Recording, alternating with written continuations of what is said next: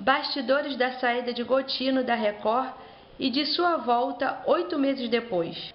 Para entender esta surpreendente volta de Gotino à Record apenas oito meses depois de deixar a emissora, vale a pena relembrar, acrescentando detalhes pouco conhecidos, como se deu a saída dele da emissora em setembro de 2019 e o que aconteceu de mais marcante no trabalho que desenvolveu no novo canal. A contratação de Reinaldo Gotino pela CNN Brasil em setembro de 2019 causou enorme surpresa nos bastidores da Record.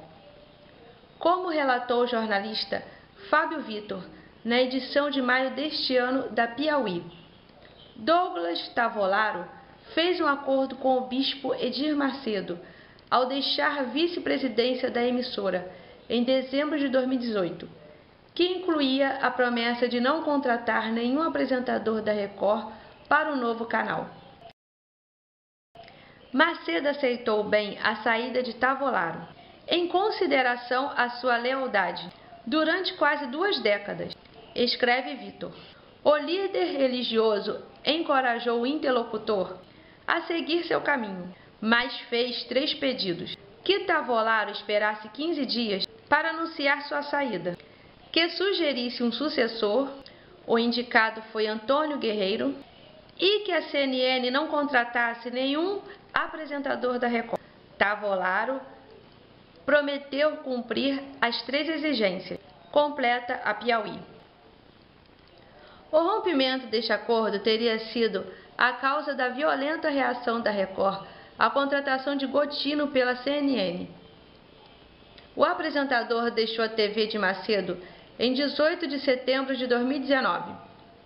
Quatro dias depois, o Jornal da Record fez uma longa reportagem com ataques à MRV, empresa de construção de Rubens Menin, o principal sócio do canal de notícias. Nos dias seguintes, outras duas reportagens miraram os negócios de Menin.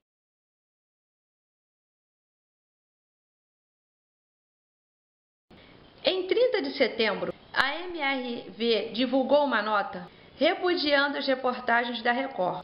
São uma represária de baixo nível da direção da emissora, da contratação do apresentador Reinaldo Gotino pela CNN Brasil, disse a empresa. Os ataques cessaram.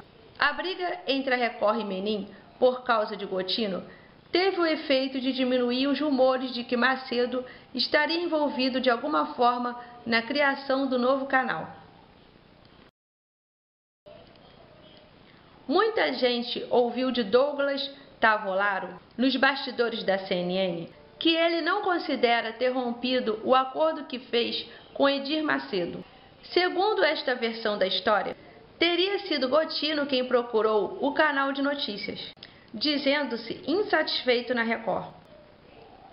No dia em que a contratação de Gotino foi anunciada, o colunista Ricardo Feltrin escreveu no UOL: Gotino, 42 anos, deixou a Record após ser mantido por meses em banho-maria, sem nenhum aviso se teria seu contrato renovado ou não.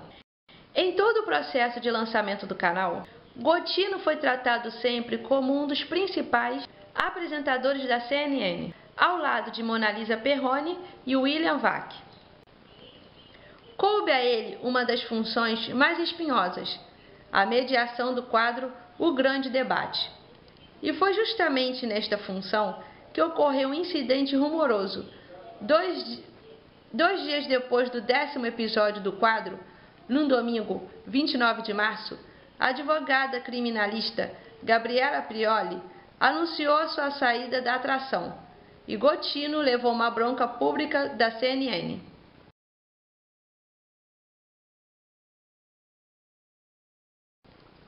No episódio, um profissional com larga história na TV excedeu a postura de mediador. Criticou a emissora em uma nota. Muito incomum pela forma como foi feita, a reprimenda deixou no ar a impressão de que algo não ia bem na, na relação do apresentador com o comando do canal. O apresentador também pediu desculpas em nota, me excedi a interromper.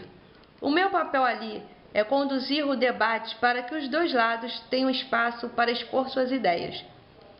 Minha postura excedeu a de mediador. Peço desculpas a Gabriela por isso. Esse pedido de desculpas, enviado a ela no início da manhã de domingo, se estende também à emissora e ao público.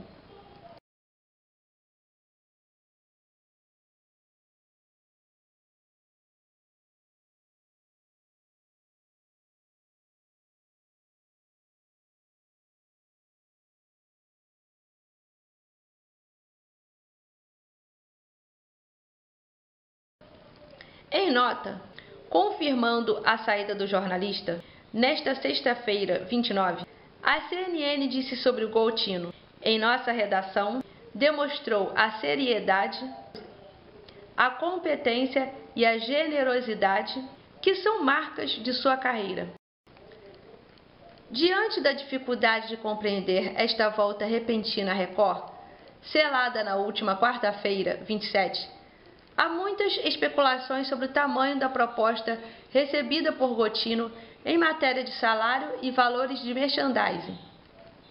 Nos bastidores da CNN, fala-se que o jornalista recebeu uma proposta quatro vezes superior ao que estava ganhando no canal de notícias.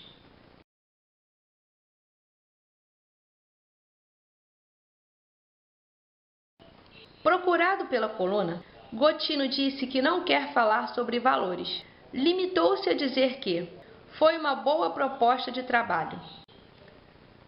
Em contato com a coluna, a Record nega que Gotino tenha voltado com um salário quatro vezes maior do que ganhava na CNN Brasil.